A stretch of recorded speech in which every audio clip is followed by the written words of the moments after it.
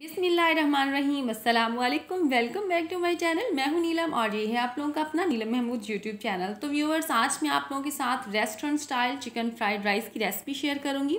इसे आप चाइनीज़ बिरयानी या वेजिटेबल फ्राइड राइस भी बोल सकते हैं, क्योंकि इसमें राइस हम बॉयल यूज़ करेंगे। बहुत सारी वेजिटेबल्स होंगी, इसमें चिकन का यूज़ होगा और स्पाइसेस हम इसमें बहुत थोड़े डालेंगे, ठीक है? और कोशिश करूँगी बहुत आसान तरीके के साथ ये रेसिपी आप लोगों के साथ शेयर कर सकूँ। और अगर आप मेरे चैनल पे नए हैं तो मेरे चैनल को सब्सक्राइब कर लें बेल आइकन को लास्ट में प्रेस करें, ताकि मेरे तमाम वीडियोज़ की नोटिफिकेशन आपको टाइम पर मिल सके। तो फ़र्स्ट स्टेप की तरफ़ चलते हैं। वन एंड हाफ़ लीटर मैंने पानी लिया। पानी के अंदर टू टेबल स्पून आम रेगुलर जो घर का नमक होता है, वो डाल दिया। और इसको बॉयल होने के लिए रख देंगे। लेकिन इससे पहले मैंने तीस मिनट पहले मैंने राइस को भिगो के रख दिया था। पानी में डिप किया, अच्छे से धोया। और धोने के बाद मैंने उसको पानी में डिप कर दिया। आफ्टर थर्टी मिनट्स मैं ये आप लोगों के साथ नेक्स्ट प्रोसीजर कर रही हूँ, यानी कि पानी बॉईल करने वाला, ठीक है? ये जो भिगे, भिगो के रखे हुए तीस मिनट पहले जो चावल थे, उनका पानी मैं निकाल के चावलों को डाल दूँगी। जो बॉयल्ड हमारा वाटर हो रहा था, उसके अंदर और इसको हमने इतना कुक करना है कि हमारे राइस नाइन्टी या नाइन्टी फाइव परसेंट कुक हो जाएँ, ठीक है? उसके बाद इसे स्ट्रेनर में निकालेंगे। टैप का जो सादा पानी होता है, उसके साथ इसको धो के इसको रख देंगे साइड पे। चलते हैं सेकंड स्टेप की तरफ़। पैन के अंदर two tablespoon cooking oil लिया थ्री मीडियम साइज़ के एग लिए। इनको अच्छे से मैं बीट कर लूँगी। इसके अंदर मैंने कोई सॉल्ट कोई स्पाइस मैंने नहीं डाला, सिर्फ़ मैंने एग बीट किए। उसको पैन में डाल दिया, जब पक जाए।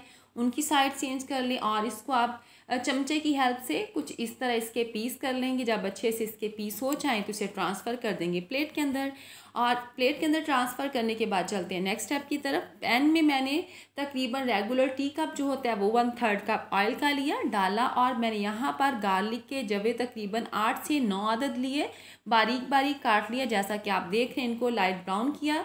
और इसके अंदर चिकन मैंने डाल दिया, चिकन के मैंने आपको पीस दिखा दिए, बड़े छोटे अपनी मर्ज़ी से आप कर सकते हैं। चिकन मैंने यहाँ पर फोर हंड्रेड ग्राम लिया, ठीक है?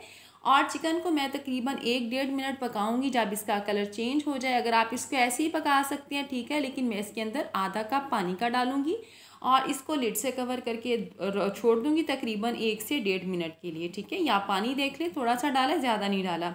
और मैं इसको पका रही हूँ मीडियम फ्लेम पे, ना फ्लेम बहुत लो है, ना फ्लेम बहुत ज़्यादा हाई है, ठीक है? और इसके बाद, एक डेढ़ मिनट के बाद इसको निकाल उसका लिड उतार देंगे, यहाँ पर आप देख लें।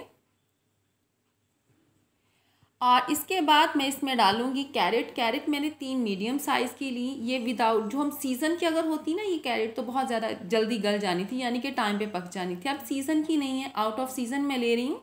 तो इस वजह से इसको मैं एक मिनट ज़्यादा पकाऊँगी। अब मैं क्या करूँगी? थोड़ा सा पानी हमारा ऑलरेडी था। चिकन के अंदर उसी में मैंने कैरेट को डाला। थ्री मैंने मीडियम साइज़ की कैरेट ली। लंबाई में काट दिया धो लिया और डाल दिया, ठीक है?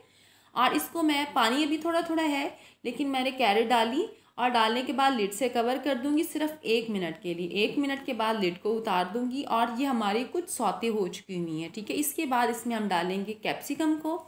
कैप्सिकम मैंने फोर मीडियम साइज़ की ली, इनके सीड्स वगैरह रिमूव कर दिए और उसके बाद इनको कुछ इस तरह से काट लिया, काटने के बाद अच्छे से धो लिया और इसको भी हम अपने बर्तन में डाल देंगे। यहाँ पर आपकी अपनी मर्ज़ी है, जैसे मर्ज़ी आप वेजिटेबल्स की कटिंग करें, अपनी मर्ज़ी की वेजिटेबल्स डाल दी, ठीक है? मेरे पास जो थी, या मेरी जो फेवरेट है, मैं वो डाल रही हूँ, आप अपनी फेवरेट डाल सकते हैं। इसके बाद कैबिज मैंने मीडियम साइज़ की एक ली, और उसका मैं आधा हिस्सा इसके अंदर डाल दूँगी काट के। काट मैंने कुछ इस तरह से इसे लिए अच्छे से काटा और धो लिया, इसको भी डाल देंगे और अच्छे से हिला लेंगे। और इसके बाद मैं इसमें डाल रही हूँ वन टेबल स्पून रेगुलर घर की जो शुगर होती है वन टेबल स्पून वो डाली वन टेबल स्पून सॉल्ट डालूँगी सॉल्ट यहाँ पे आपने थोड़ा ध्यान से डालना है, क्योंकि जब आपने राइस बॉईल किए तो उसमें भी हमने टू टेबल स्पून डाले थे, ठीक है? इसके बाद मैं डालूँगी one tablespoon chicken powder इसमें भी सॉल्ट होता है, अगर आप आपके पास चिकन पाउडर नहीं है तो चिकन क्यूब्स का यूज़ कर सकते हैं आप। अच्छे से मिक्स कर लेंगे और मिक्स करने के बाद जो हमने 90 या 95 परसेंट कुक करके रखे हुए थे राइस वो डाल देंगे। यहाँ पर इस स्टेज पे आके मैं आधा कप चावलों का बॉयल चावलों का निकाल लूँगी, वो मैं बताऊँगी बाद में, वो मैंने क्यों निकाला है, ठीक है? और सारे राइस डाल दिए। राइस मैंने यहाँ पर लिए थे तीन पाव, यानी कि सेवन हंड्रेड फिफ्टी ग्राम ठीक है? और चावलों के अंदर one tablespoon black pepper one tablespoon white pepper डाल दिया। और रेली सॉरी यहाँ पर मैंने फोर टेबल स्पून सिरका वाइट विनीगर और फोर टेबल स्पून मैंने सोया सॉस डाली थी। वो मुझसे सीन स्किप हो गया, उसके लिए मैं मास्टर चाहती हूँ। उसके बाद मैंने एग डाले। एग को डाला, अच्छे से मैं इसको मिक्स कर लूँगी और इसको हम दम पे रख देंगे मैक्सिमम दस से बारह मिनट के लिए। लेट से कवर किया, नीचे मैं आयरन पैन रखूँगी पतीली के नीचे, ठीक है? देगची के नीचे। और आफ्टर तकरीबन टेन एंड ट्वेल्व मिनट्स ये आप देख लें, माशाल्लाह से राइस हमारे डन डना डन बहुत अच्छे बन चुके हुए हैं।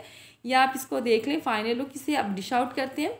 अब मैं बताऊँगी जो मैंने चावल बचा के रखे थे ना, थोड़े से वाइट मैंने राइस निकाले थे। जब आप इसे प्लेट में शिफ्ट कर रहे हो, निकाल रहे हो तो जब ये चावल डालें तो थोड़े थोड़े आप दूसरे वाइट चावल चावल भी इसके अंदर ऐड कर दें। जैसा कि आप देख रहे होंगे, इसमें आपको नज़र आ रहे हैं वाइट राइस मैं डाल रही हूँ।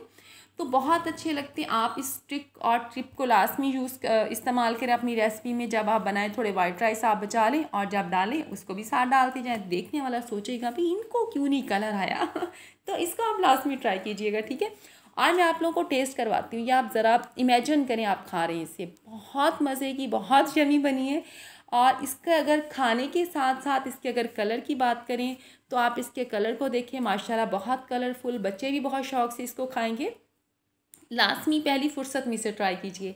और अगर ट्राई कर लेते हैं तो ट्राई करने के बाद आपकी रेसिपी कैसी बनी, वो आप मेरे साथ लाजमी शेयर करें। और उम्मीद करती हूँ इन ताला फ़र्स्ट ट्राई में बहुत ज़बरदस्त बनेगी। रेसिपी को फॉलो करें, बाकी तमाम चीज़ें आपकी इंशाल्लाह परफेक्ट होंगी। अगर वीडियो अच्छी लगी थम्स अप दें, अपनी फ्रेंड्स के साथ शेयर करें, दुआओं में याद रखें, आप लोगों से मुलाकात होगी नेक्स्ट किसी और मज़ेदार रेसिपी के साथ। तब तक के लिए इजाज़त दीजिए, अल्लाह हाफिज़।